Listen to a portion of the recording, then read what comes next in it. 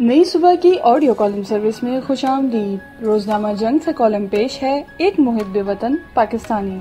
Column नगार हैं doctor Abdul Qadeer Khan और आवाज़ है मलिहा अमीन की। अगर आप नई सुबह की ऑडियो लाइब्रेरी से मुस्तफ़ होना चाहते हैं या हमारे साथ वॉल्टियर करना चाहते हैं तो विज़िट कीजिए हमारी website W W W dot नई सुबह dot org N A I S U B A H dot O R G Kahuta की कहानी मेरी जुबानी आप कई बार सुन चुके हैं। ये नहायत दिलचस्प और रूह परवर कहानी है। एक ऐसा प्रोजेक्ट एक ऐसी कामयाबी कि जिसने पाकिस्तान को दुनिया में सुरखुरु करके एक नाकाबले तस्खीर दिफा मुहैया कर दिया और हमारे सबसे बड़े और ख़तरनाक दुश्मन भारत से हिसाब बराबर कर दिया।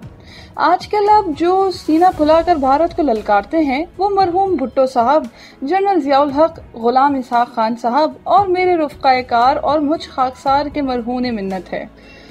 28 मई योम तकबीर चला गया और किसी ने गुलाम इसाक खान साहब का नाम नहीं लिया। हालाँकि इस पूरे प्रोग्राम में उनका कलीदी किरदार था। मेरी मुलाकात उनसे जुलाई सन उन्नीस सौ छिहत्तर में आका शाही साहब के दफ्तर में हुई, वो इस वक्त सेक्रेटरी जनरल वजारत दिफा थे। दरअसल मैंने भुट्टो साहब को खत लिख दिया था कि एटॉमिक एनर्जी जिसका मैं एडवाइजर था, मैं कोई काम नहीं हो रहा। और मेरा वक्त ज़ाया हो रहा है। मैं वापस जाना चाहता हूँ। उन्होंने मुझे मुलाकात के लिए गवर्नर हाउस लाहौर बुलाया। मैंने उनको तफसील से आगाह किया तो वो बहुत गुस्सा हुए और मुझसे कहा कि दो दिन सब्र कर लूँ। दो दिन बाद वाकई मुझे जनरल इम्तियाज़ का फ़ोन आया कि शाम पाँच बजे फॉरेन ऑफ़िस में मीटिंग है। आप वहाँ आ जाएँ। वहाँ जनाब A G N Kazi secretary general finance और गुलाम इसा खान सेक्रेटरी जनरल दिफा मौजूद थे। मैंने उनको तमाम तफसीलात से आगाह किया और बतला दिया मौजूदा हालात में क़यामत तक ये काम नहीं हो सकेगा। उन्होंने मुझे चेयरमैन एटॉमिक एनर्जी कमीशन बनाने की पेशकश की, जो मैंने कबूल ना की। वजह ये थी कि अगर मैं ये अहदा कबूल कर लेता तो मगरबी ममालिक को फ़ौरन मेरी महारत का इल्म हो जाता और वो हमारे तमाम रास्ते बंद कर देते। मैंने मशवरा दिया कि ये काम बहुत अहम और बहुत बड़ा है। इसको अलहदा प्रोजेक्ट के तौर पर मेरे हवाले कर दें और मैं वज़ीर अजम की सरबराही में ये काम इन कामयाबी से सर अंजाम दे दूँगा। मुझे दूसरे दिन फिर पाँच बजे बुलाया गया और वहाँ फिर ये तीनों सीनियर अफसरान मौजूद थे। उन्होंने कहा कि हमने आपकी तजवीज़ पर गौर किया है और हम इसको कबूल करते हैं। आप नई ऑर्गेनाइजेशन बना लें। आप इसके सरबरा होंगे। मैंने कहा, मुझे पूरी आज़ादी चाहिए। उन्होंने कहा कि ये फैसला वज़ीर आज़म करेंगे। भुट्टो साहब को फ़ोन किया गया और बताया कि मैं रुकने पर तैयार हूँ और मेरे लिए अलहदा प्रोजेक्ट बनेगा। भुट्टो साहब ने मेरा शुक्रिया अदा किया। मैंने अर्ज़ किया कि मुझे पूरी आज़ादी से काम करने की इजाज़त चाहिए। उन्होंने कहा कि दो तीन दिन बाद मीटिंग बुलाएँगे तो इस पर बात कर लेंगे। दो दिन बाद उनके दफ्तर में मीटिंग हुई। मैंने फिर आज़ादी से काम करने की दरख्वास्त की। भुट्टो साहब ने कहा कि वो एक बोर्ड बना रहे हैं जिसमें जनाब ए जी एन काजी जनाब गुलाम इसहाक खान साहब और जनाब आगा शाही साहब होंगे और इस बोर्ड को वो अपनी पावर्स दे रहे हैं और उनसे कहा है कि मुझे किसी शिकायत का मौका ना दें। मैंने उनसे दरख्वास्त की कि मुझे माहिर इंजीनियर्स की एक टीम दे दी जाए, जिनसे मैं सिविल वर्क्स का काम कराऊँगा। जनरल जियाउल हक ने दूसरे दिन सुबह एक टीम को मेरे पास भेज दिया कि हम इनसे सिविल वर्क्स कराएँ। बहुत तेज़ी से हमारी ज़रूरियात के मुताबिक इमारतें बनना शुरू हो गई। हमने तेज़ी से काम किया। हम पूरा हफ़्ता अठारह बीस घंटे काम करते थे। बाद में गुलाम इसहाक खान बोर्ड के सरबरा बन गए और हमें करीब से उनकी सलाहियतों से वाकफियत हुई। आप बेहद काबिल, ईमानदार, आला समझबूझ और नहायत शफीक इंसान थे।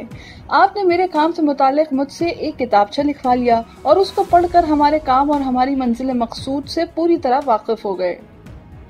मेरी दरख्वास्त पर आपने वजारत ख़जाना से एक काबिल, ईमानदार, अच्छे घराने के जनाब इम्तियाज़ अहमद भट्टी को मेंबर फाइनेंस लगा दिया।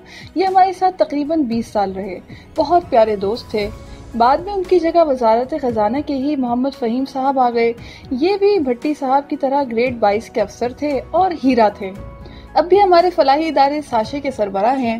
गुलाम इसहाक खान ने अपनी शोहरत के बरक्स मुझे पूरी आज़ादी से काम करने दिया। वो हर माह मीटिंग करते थे और प्लांट का चक्कर लगाते थे। उनके चेहरे पर तमानियत और खुशी काबिल दीद होती थी। मैंने अपने इदारे को खुद कफील बना दिया था और हम बाहर से किसी चीज़ के मोहताज न थे। मैं आपसे ये अर्ज़ करना चाहता हूँ कि गुलाम इसहाक खान साहब की मुल्क के लिए खिदमत नहायत आला और हुबुलवतनी पर मुबनी थी। हमारे प्रोग्राम की सरबराही से पहले अयूब खान के दौर में आपकी मेहनत, मशवरे से तरबेला और मंगला डैम बने थे। आपको हर काम में आला महारत थी। आप नेको ईमानदार थे। मैं उनकी अपने वालिद की तरह इज़्ज़त करता था और मुझे यकीन है कि उनके दिल में मेरी इज़्ज़त भी अपने बेटे की तरह थी। गुलाम इसहाक साहब हर महीने एक मरतबा ज़रूर कहोटा का चक्कर लगाते थे। उन्हें हमारे प्रोजेक्ट से बेहद मोहब्बत थी। वो जानते थे कि हम पाकिस्तान के इस्तेकाम और सलामती के लिए काम कर रहे हैं। जनरल जियाउल हक ने भी उसूल बना लिया था कि जनरल अली जामिन नकवी और मुझे कम अज कम दो मरतबा हफ़्ते में बुला लेते थे।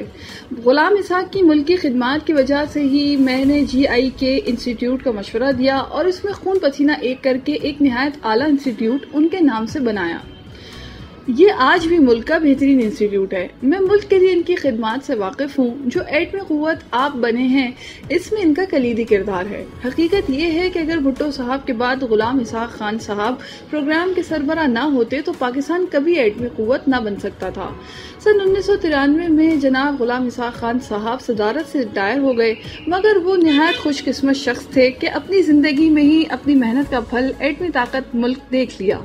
अल्लाह उनको जन्नतुल फिरदौस में आला मकाम अता फरमाए, आमीन।